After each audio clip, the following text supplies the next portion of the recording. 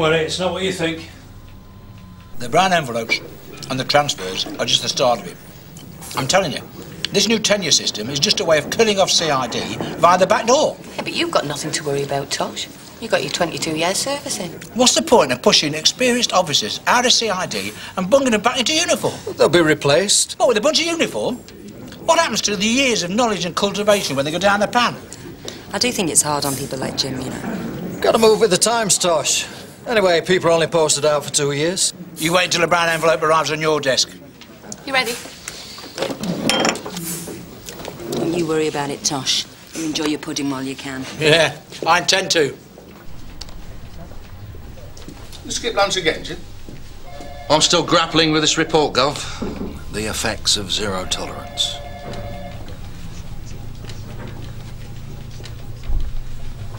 Are you fit? I thought we were going to see one of my old contacts. What, now? Well, it's your case. If you're not interested, I don't believe this. He bunks off all morning, then suddenly he's all fired up. Tosh is just not pulling his weight. He's becoming the invisible man, like this morning. Uh, he had a doctor's appointment, Gov. Really? Yeah, I think this tenure business is giving him the willies. Beginning of the end and all that. So he thinks that by doing a go slow he's helping, does he? I mean, look at Jim Carver. The system affects him, but he's having a go. He's making the best of it. Yeah, it's amazing how uncertainty will galvanise some people into action.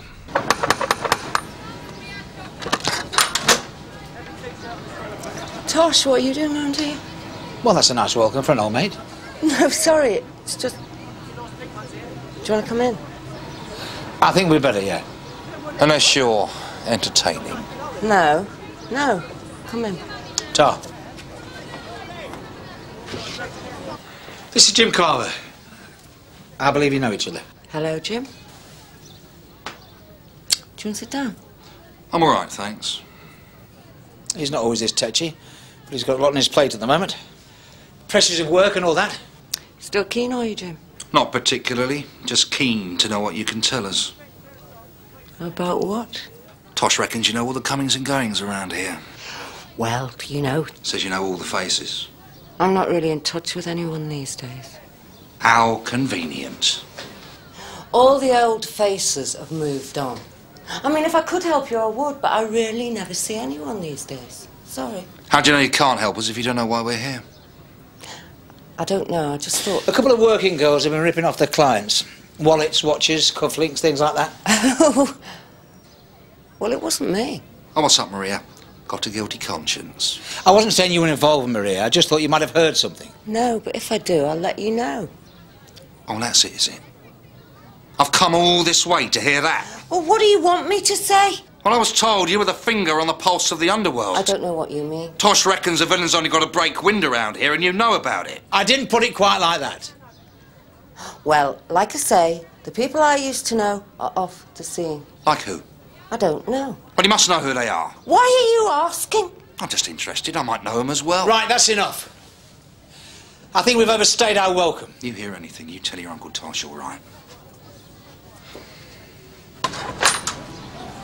So what's with the strong arm tactics? You dragged me out the office all the way over here just to be told, Tosh, I'll let you know if I hear anything. And you expect me to be Mr. Happy, do you? Well, perhaps if you aren't upset her. Well, you might have time for this, Tosh. I haven't. Don't take your problems out on me. She's been a damn good informant to me over the years. Yeah? But why isn't she registered then? Because she doesn't like being pushed around, that's why. Pushed around? More likely she doesn't know anything. Believe me, Maria's 24 carat. And if you hadn't offended her, she might have given us something. Like what? Syphilis?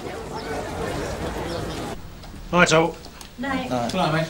Right, who's up for a swift half? Oh, go on then. Just twist me arm. Just a quick one. I'm not up for a session, all right? Tosh, fancy a livener?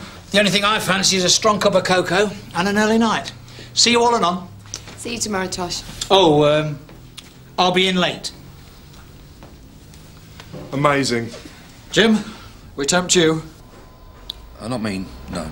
Oh, go on, be a devil. No, then he'd have to tear himself away from his beloved computer. He can always bring it with him. I'm sure they've got a spare socket down the pub. I'll take no notice, Jim. I think you make a lovely couple. How's it going?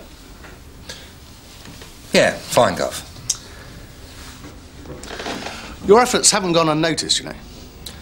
Well, I'm not after point scoring. No, no, of course not. But it'll all count on your appraisal. I'm sure you realise that. Well, you've got to make the best of things, haven't you? You thought about the future, the effects of tenure. Yeah, but I'm not too worried. When the time comes, it might be a good idea to apply for a plainclothes secondment somewhere. Thanks. I'll bear it in mind.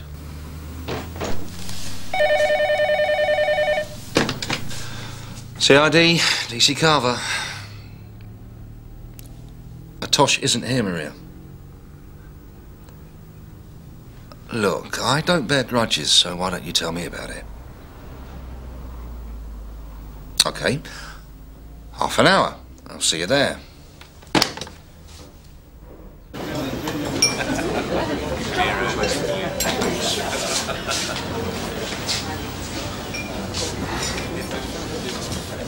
You had a change of heart? Yes. It's difficult. I'm taking a hell of a risk meeting you like this. Don't waste my time again, Maria. How do I know I can trust you? If you've got something to say, just spit it out, yeah? And if I do? Oh, you want money? Uh, still mineral water, please. Certainly, sir. For God's sake, use a bit of discretion, will you? I'm putting my neck on the line here. So am I. You're not even a registered informant. Well, you'll just have to trust me then, won't you?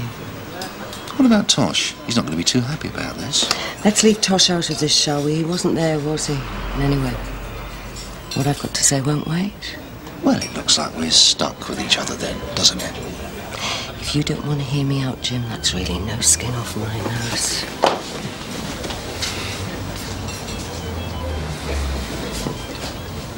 I'm all ears.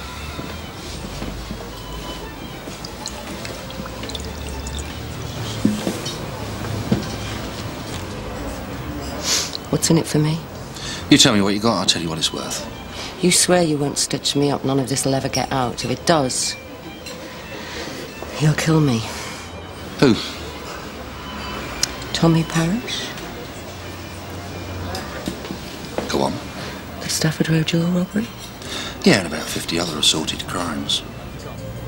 He's due back in London. Tomorrow morning. I didn't know if you knew. What do you think? I thought perhaps you'd heard through the grapevine. I have had a whisper. So, how much do you know? I think it's better you tell me what you know first. Like I said, I'm risking my neck. Maria, why don't you register as my informant? That way we can do the whole thing legit. What about Tosh? What about Tosh? If he hasn't bothered to sign you up, then that's his problem.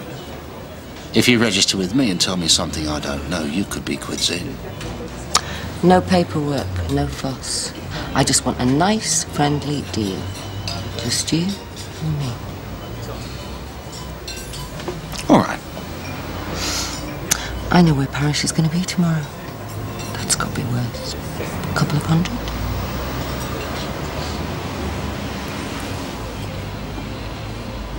Tommy Parrish. According to my informant, Gov. And this is the first we've heard of it. But I think maybe my contact had the idea that we were onto Parrish already. Registered informant? An acquaintance, Gov. Trustworthy? 24 carat. Did you pay for this? A couple of glasses of wine. Of course, you do realise I've been after Tommy Parrish for about eight years. Yes, Gov. The Stafford Road jewellery job. I was that close to nicking him. I know. Yeah, they all did. He was tipped off. His sister, probably. And while we were making prats of ourselves trying to break into his flat, he was on his tours to Spain. My informant says he was in such a hurry to leave, he left a load of jewellery behind. Well, I don't know about that. We didn't recover so much as a tie pen. Which is why he's coming back. I reckon we could nick him and get the jewellery back. If you get me Tommy Parrish, Jim, I'll personally recommend you for any posting that you fancy. And that's a promise.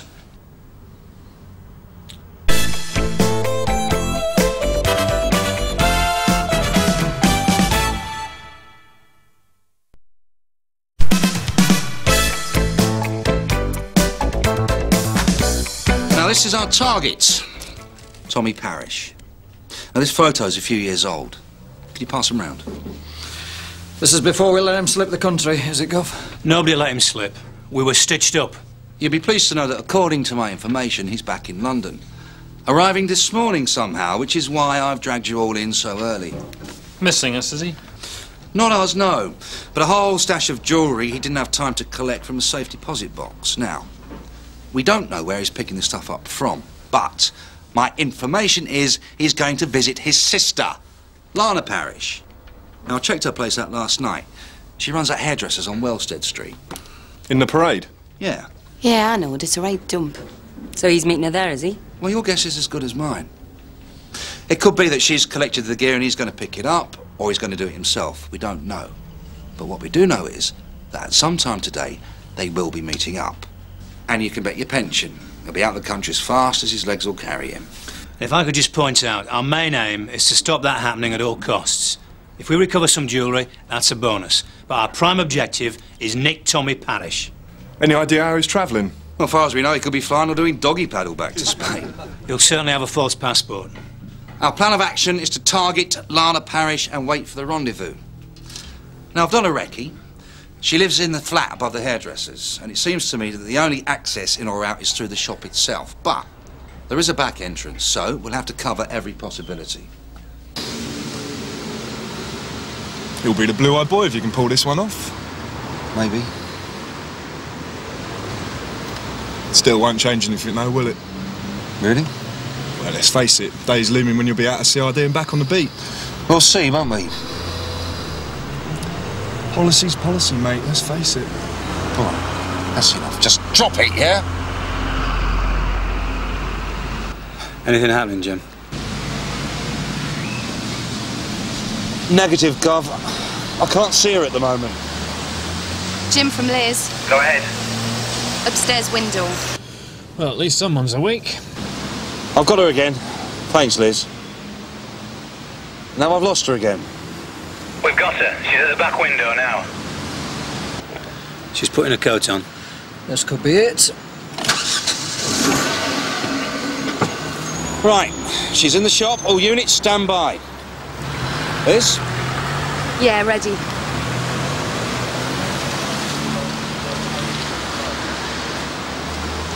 Now she's heading in the direction of Hazen Road. She's wearing a green jacket, black skirt, and she's carrying a red holdall. Sounds promising.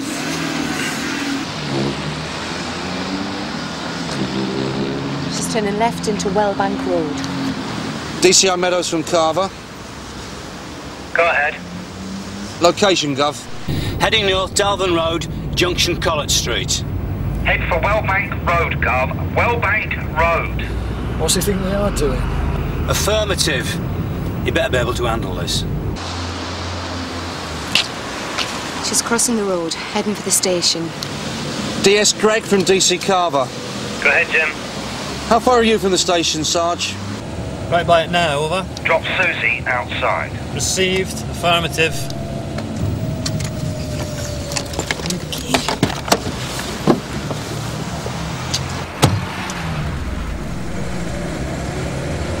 Norika, can you contact the DLR and get us permission to use the central control room? Okay, let's go. Come on.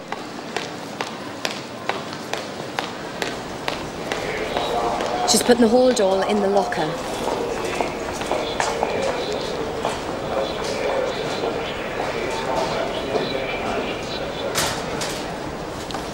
And she's heading for the ticket office. Okay, Liz. Wait for Susie.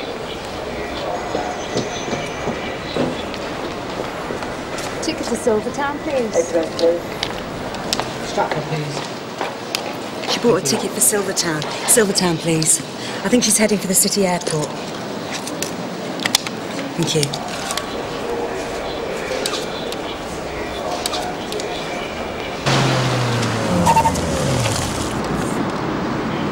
Susie, stay with the target. Liz, stay put and maintain eyeball on the locker. DC Carver from DCI Meadows. You go ahead, Gov.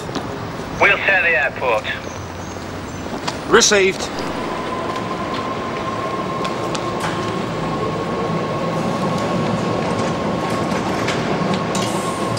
I've lost her. Jim from Liz. Go ahead. Shall I go up to the platform? Negative. Stay at the locker. Come on, Susie. I've got her. What are they playing at? She's just made a call on her mobile. Confirming the rendezvous? Could be. A little passing on as she's left the bag. Right, let's see if we can get a vantage point on this locker before Parrish turns up to collect. Hello. This is Carver and Proctor, Sun Hill. Thanks for this. Okay. This way, gentlemen. Where is everyone? Well, surveillance. You haven't heard then? Heard what? Tommy Parrish is in town. You serious? Deadly. That's a bit of a turn up, isn't it? Yeah. Well, Jim only got the word off his snout yesterday evening. Jim? Yeah. You don't know who this snout was, do you, Gov? Well, you'll have to ask him now. Pity you weren't here, though. You're missing all the fun. Right. All we can do is make sure we're ready for him.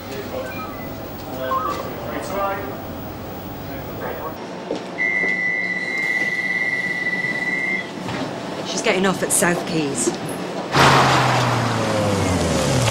What's she getting off there for?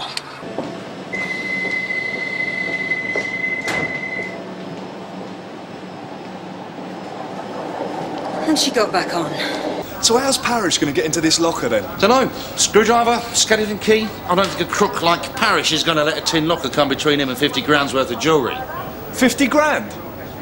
Where did that figure come from all of a sudden? According to my informant. Well, if so, surely you should have passed this job on to the robbery squad. Does the DCI know about this? If we'd known for definite, we would have passed it on. Yeah, like hell you would. Meadows wants Parrish for himself, and you want to score yourself some brownie points. Look, I'm just looking after my own interests, all right? Is that what you call it? Tosh, what are you doing here? I want a word. In private. I'm in the middle of an obo, Tosh. Can't it wait? If it could, I won't be here. Don't take your eyes off that locker. Maria told you? Okay, so you're not happy, but she called me and you weren't around. Yeah, well, I've got a phone at home, you know, and I've also got a mobile. You were knackered. You said you were going straight home for a kip. You thought I might like a share of the action more like? It was more of a spur of the moment thing. So you set up oh, this whole thing on the strength of that? Well, you said yourself that Maria was a good snout. Yeah, she is if you know how to handle her. But you don't pressurise her like you were trying to. But it worked, didn't it? She told me about Parrish. Yeah, that's what worries me. How much do you pay her? I bought her a couple of drinks in that French wine bar. A couple of drinks to grass up Tommy Parrish. All right, I gave her a few quid as well. You don't really know Maria at all, do you? She wouldn't grass up Parrish. Oh, well, I bow to your superior intelligence. A, she hasn't got the bottle, and B, there used to be an item. Exactly. I mean, maybe they fell out, that's why she told me about him. Look, why would she bother to invent all this? She took my money. We had a deal, that's all. Maria would have to have a better reason for that. Such as? Such as getting you to follow Lana instead of her. Oh, come off it. Look, you're making too much of this. She's a prostitute. She needed money. Parrish will show. Yeah. Well, for the sake of your career, I hope so.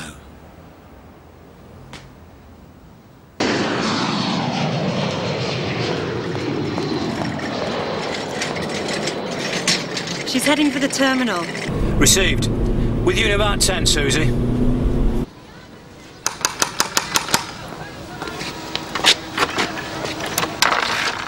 Maria! She's gone out. Go in and get yourself ready.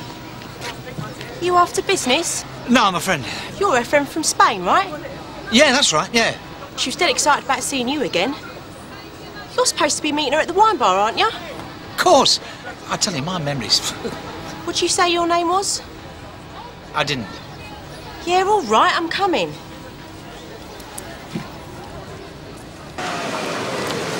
She's at the coffee shop by the check-ins. Right, you go and see if you can spot Parrish anywhere. I'll stay here. Goff. Uh, I'm looking for a woman. I mean, she's supposed to be here. Late 40s, a bit dressy. A prostitute with a middle-aged man? Uh, they just left, sir. In a minicab. Oh, cheers, mate. Ta. There's no sign of him. Lana's on a third cup of coffee. I've just checked with the airlines. None of them fly to Spain from here. So it's a white Vauxhall Carlton G936FTH. Right. Cheers, mate. What time's is that then? Nah, sure. Excuse me, sir. Hang on a minute, Derek. What? You do realise it's an offence to park on a double yellow, don't you? Yeah, I was just waiting for that geezer over there. Derek, I'll call you back. Oi, what's going on? You got any documents on you at all? Come on, come on. Ah, Norika, it's Tosh. Yeah. Can you do me an urgent call on a vehicle, please? It's a white Vauxhall Carlton minicab. Is there a problem, officer? No, I'm just running a check on this vehicle. Why? Well, it's parked on double yellows. Well, it's not the crime of the century, is it? If you just like to wait in the vehicle, I shouldn't keep you long. No, it's all right. We'll get a black cab. I'll have my luggage out the boot. All units from Sierra Oscar. No, you hang on there, all right? Attention requested to a white Vauxhall oh, Carlton minicab. Golf 936 Foxtrot Tango Hotel. If seen, stop and detain occupant believed to be Thomas Parrish, known to be violent. Approach with caution. Yeah, Sierra Oscar 171, is it? Go ahead, Reg. Yeah, uh, read your last message. I'm standing with that vehicle now by the Jelly Deal store in Bream Road. I'll check the passenger's identity and advice. Received. Await assistance, Reg. Angle left and put your foot down.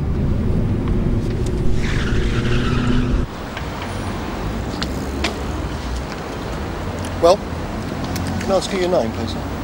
Why? Well, it's purely routine. Mick Burrows. You got any ID on you at all? No, I don't. Look, this is a minicab, right? I'm not responsible for it. So why don't you sort it out with the driver and let me and my friend get a black cab? Where are you headed for exactly? Liverpool Street. They weren't asking you. Look, here's my passport, if you don't believe me.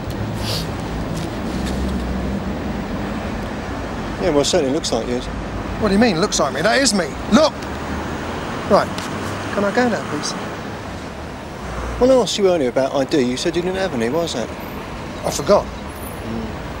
Going on holiday, are you? what? Well, travelling abroad. He just wants to get his bag and go, okay? Well, no. Not until I've satisfied myself that the details you've given me are accurate. Open the boot! I want my bag! Sir, if you don't control that temper of yours, I might have to arrest you. Give me the keys. Leave it, Tommy. Let's go. No, I ain't leaving without it. Oh, so your name's not Mick, eh? Stand back! Tommy, leave it. No! Give me them keys! Stay down! Spread your arms! Don't try, Maria! You wouldn't even outrun me in those shoes. Now, come on! Kill him. Tosh? Yeah? The boot. Cheers. What you got in here, then? The crown jewels. Thank you.